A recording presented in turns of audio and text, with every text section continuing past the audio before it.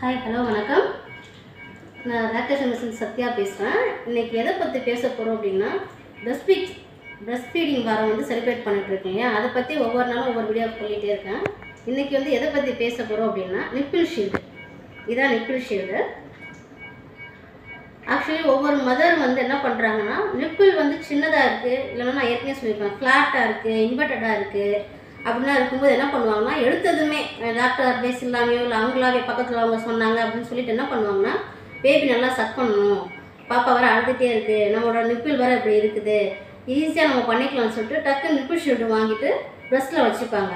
வைக்கும்போது நிப்பிள் சைஸில் அதுவும் இருக்கும்போது பேபி என்ன பண்ணும் அப்படின்னா நிப்பிள் தானே சொல்லிட்டு வேகமாக சக் பண்ண ஆரம்பிச்சிடும் அப்படி சக் பண்ணும்போது என்ன பண்ணும் தெரியுமா? நமக்கு வந்து பேபி வந்து டேரெக்டாக வந்து மதரோட அட்டாச் பண்ணி இந்த ஸ்கின் தின் டச் இருந்தால் மட்டும்தான் சக் பண்ணும்போது மில்க் செக்ரேஷன் வந்து நல்லா ஆகும். நீங்கள் என்ன பண்ணுவீங்கன்னா நிப்பிள் ஷீல்டை வச்சு பாப்பா சக் பண்ணும்போது என்ன பண்ணும் தெரியுமா?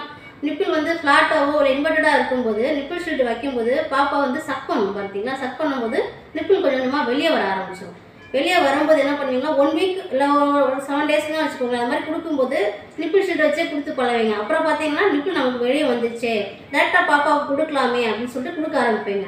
அப்போ என்ன ஆகும்னா பேபிக்கு வந்து நிப்பிள் கன்ஃபியூஷன் ஆகும். இது வரைக்கும் நான் நிப்பிள் ஒரு மாதிரி இருந்துச்சு இப்போ வேறு மாதிரி இருக்குன்னு சொல்லிட்டு அழ ஆரம்பிச்சிடும் அப்போ குடிக்கவும் குடிக்காமல் போயிடும் அதனால் எக்காரணத்தை கொண்டு நீங்கள் என்ன பண்ணுறீங்கன்னா நிப்பிள் ஷீட் வந்து யூஸ் பண்ணவே பண்ணாதீங்க எப்போவுமே.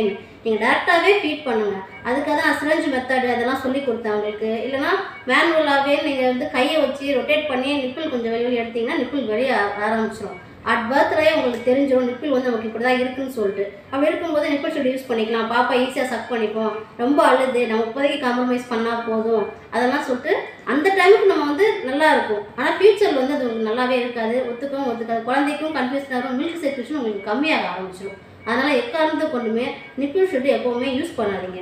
இன்வெர்டர் நிப்பிளோ இல்லை ஃப்ளாட் நிப்பிளோ இருந்துச்சு அப்படின்னா நான் சொல்லி கொடுத்த சிரஞ்சு மெத்தடு இல்லை சிரஞ்சு ப்ரெஸ் பம்ப் இருக்கும். சின்னதாக சிக்ஸ்டி ருபீஸ்லேயே கூட உங்களுக்கு கிடைக்கும். அதை வச்சு நீங்கள் ஒவ்வொரு டூ டூ த்ரீ ஹவர்ஸ் நீங்கள் வந்து சக் பண்ணி சக் பண்ணி எடுக்க ஆரம்பிச்சிட்டிங்கனாலே அந்த நிப்பிள் வந்து வெளியே ஃபுல்லாகி ஃபுல்லாகி வெளியே வர ஆரம்பிச்சிடும் அதனால் அந்த மாதிரி பண்ணிட்டீங்கன்னா நிப்பிள் ஒரு ஒன் வீக் தான். நீங்கள் ட்ரை பண்ணாலே டூ டூ ஹவர்ஸ் டெய்லி பண்ணும்போது நிப்பிள் வெளியே வர ஆரம்பிச்சிடும் அப்படியே பேபி வச்சு சக் பண்ண ஆரம்பிங்க.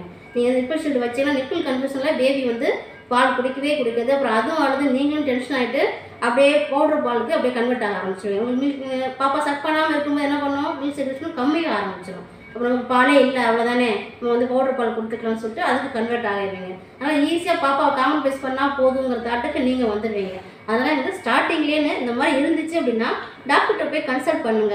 அவங்க உங்களுக்கு அட்வைஸ் பண்ணுவாங்க. என்னெல்லாம் பண்ணலாம் இதெல்லாம் பண்ணக்கூடாதுங்களுக்கு அட்வைஸ் பண்ணுவாங்க. அதுக்கேற்ற மாதிரி நீங்கள் பண்ணிக்கோங்க. நீங்களே ஓனாகவே திங்க் பண்ணி நிப்பிள் சொல்லி எப்போவுமே யூஸ் பண்ணாதீங்க. யூஸ் பண்ணால் பாப்பாவுக்கும் நல்லதில்லை உங்களுக்கும் நல்லதில்லை. அதை பற்றி தான் இந்த வீடியோ போடுறேன். ஏதாவது டவுட் இருந்தால் கமெண்ட் பண்ணுங்கள் நன்றி வணக்கம்.